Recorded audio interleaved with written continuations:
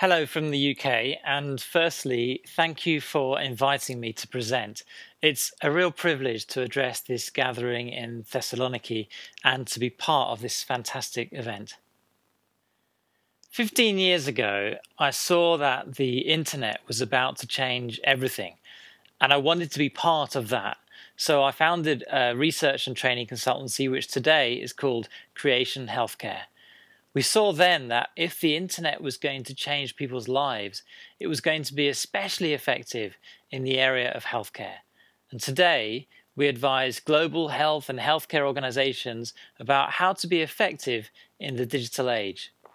Now, in the same year as Creation Healthcare was founded, 1998, in the UK, a company called doctors.net.uk started providing email addresses to doctors and it grew into the UK's leading dedicated closed doctors network. Since then, we've seen closed doctors networks all over the world in Japan, in China, in the USA, in Europe. With a few exceptions, most of these are country specific networks. They provide a range of services for doctors, including discussion forums where doctors can share ideas with peers. Now, some years ago, the British Medical Journal, the, the BMJ, took this a step further and they created Doc2Doc, a network that was, I believe, the first of these closed networks to include, in addition, an open forum area where discussion takes place in view of the public and also in view of other doctors who are not yet part of the Doc2Doc network. So now doctors anywhere in the world could find discussions taking place among their peers, and because this network was an open environment, they could find these discussions using mainstream digital channels and search engines, such as, for example, Google. And doctors increasingly started using other mainstream and open channels to discover and share information and to collaborate with their peers healthcare professionals are using not only open doctors networks, but now uh, Wikipedia, Twitter, Google, and their own blogs too. And doctors' communities started to develop within these open platforms, such as Twitter chats like hashtag MedEd, where thousands of doctors all over the world share ideas about medical education. Now, the opportunity for doctors to collaborate internationally, I would suggest, was a real game changer for healthcare professionals. Doctors could now easily learn from peers located anywhere in the world. As an example of the global reach of doctors in social media, here are the top 1,000 locations of doctors in social media from Creation Pinpoint. Creation Pinpoint is a tool that studies conversations taking place among healthcare professionals in public social media channels like Twitter, Google, forums, and blogs. And you can see here there are doctors in every world region collaborating together. We see Japan, we see California, Venezuela, Madrid, Mexico, Canada, we see Australia and Korea, and yes, we see Greece too. And the numbers are growing every day. Creation Pinpoint is currently looking at conversations among around 120,000 individuals, including all kinds of healthcare professionals from primary care physicians to nurses, pharmacists, and specialists of every kind. And you can see the growth in doctors' use of social media here in this chart, which shows the volume of conversations among healthcare professionals talking about the topic of diabetes during the same two month window, January to February, in 2011, 2012, and then 2013. And you can see it's over 200% growth in conversation levels in two years among healthcare professionals in social media. So, how is social media changing the lives of doctors? I'll show you three ways. Firstly, sharing medical education. Here's a quote from Mike Cadogan. He's a, an emergency physician working in Australia, and he's one of the champions behind a doctor's Twitter chat called hashtag FOAM, F O A M, for free open access medicine. Now, at the launch of FOAM, one of the things he said was uh, it was a place where doctors could learn from each other openly, without, effectively, without uh, commercial intrusion. And I spoke with Mike recently, and he was telling me that social media is such a leveler. It levels the playing field. He can learn from and he can exchange ideas with peers at any level, anywhere in the world, anytime. And here's a look at worldwide coverage for another Twitter chat, hashtag MedEd, where doctors share medical education information with each other. And you can see that people all over the world are taking part.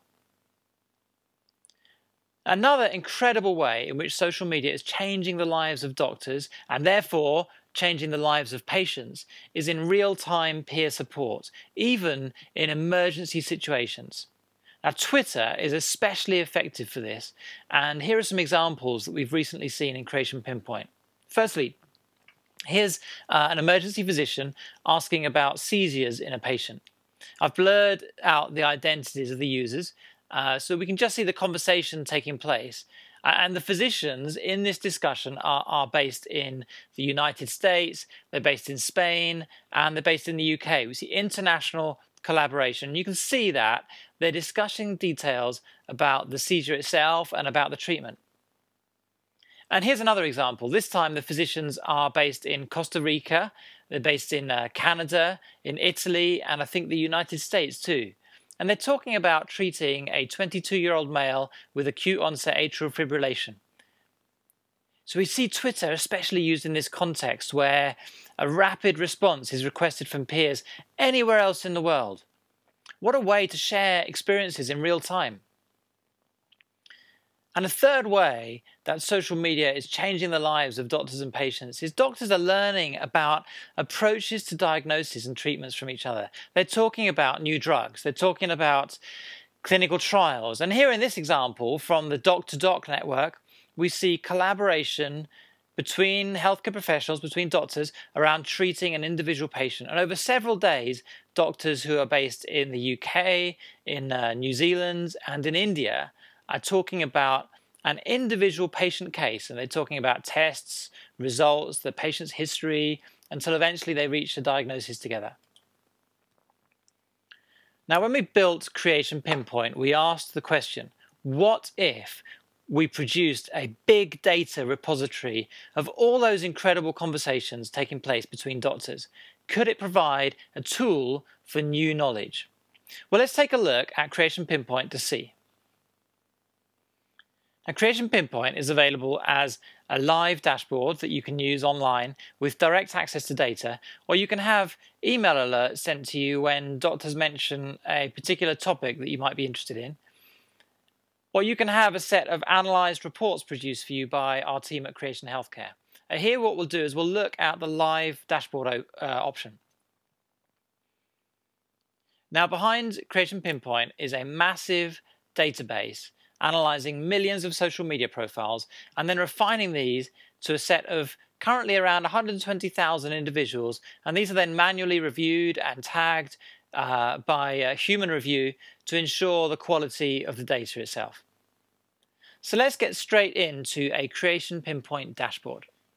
So here we see a particular dashboard that we've set up for a study into doctors worldwide talking about the topic of diabetes and diabetes related topics.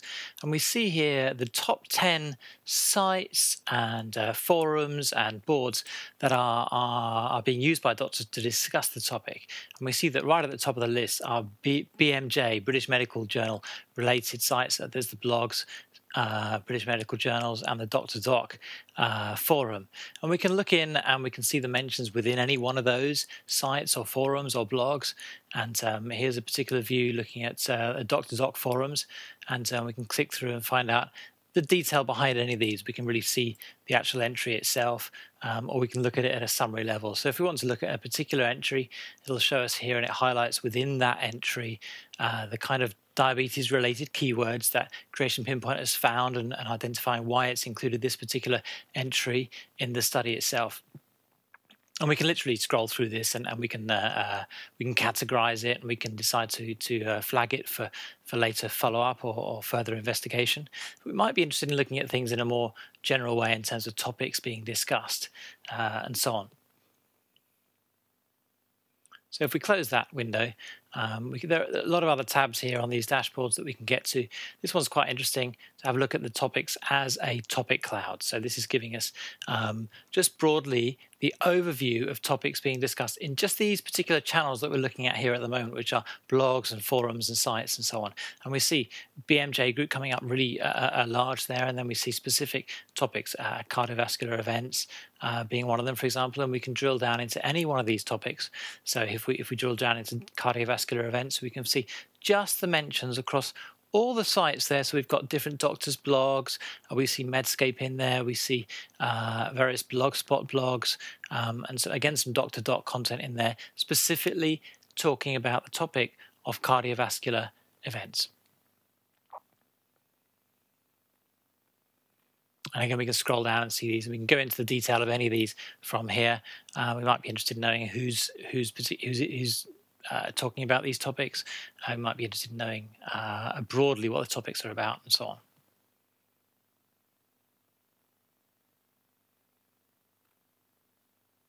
So again, if we click on one of these particular entries, it'll pull up the blog entry itself. And again, we can categorize it and we can decide whether we think this is a, a positive or negative uh, a, a reference, for example, and categorize it for future uh, reference. And there are a number of tools within uh, Creation Pinpoint for sort of managing workflow, assigning follow up to individual people, and so on. If you want to uh, use it as an engagement platform, even.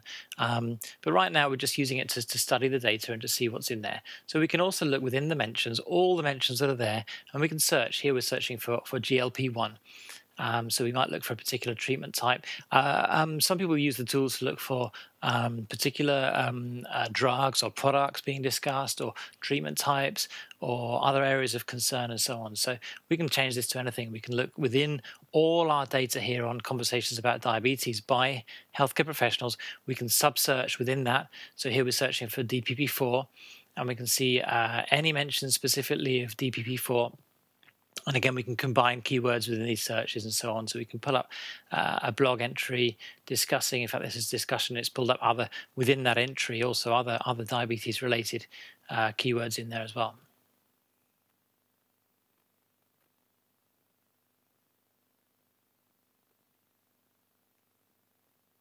So now let's have a look at another um, component of the dashboard. This is looking specifically at just Twitter. We see by far the greatest volume of conversation on Twitter versus other social media channels. So here we've pulled out just the Twitter conversations, and you saw there 30k over the course of this is conversations over the last year. Actually, as you see over the 12-month period, 30,000 uh, uh, discussions, conversations, mentions of diabetes related topics on Twitter by healthcare professionals. And we can see month by month um, in recent months, there March, February, January 2013, uh, there's been a significant growth in uh, mentions.